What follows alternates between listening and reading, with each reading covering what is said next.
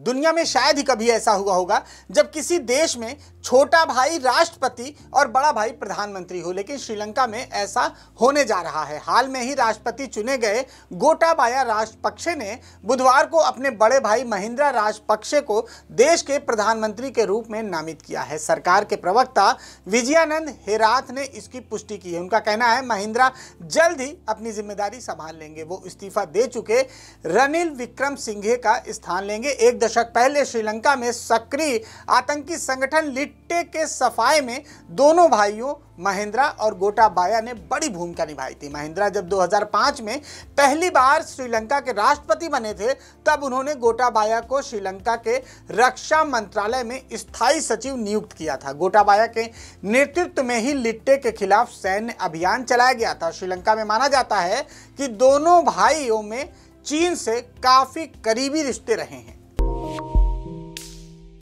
Thank you.